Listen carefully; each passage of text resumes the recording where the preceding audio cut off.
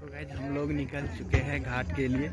अभी रास्ते में ही हैं। अंधेरा भी हुआ है। तो गैज आप लोग देख सकते हैं कि रास्ते में लाइटिंग का व्यवस्था किया गया है।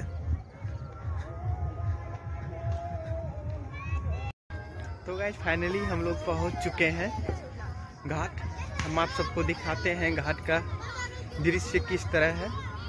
सुबह का। बने रहे हैं आप लोग इस वीडियो में। Thank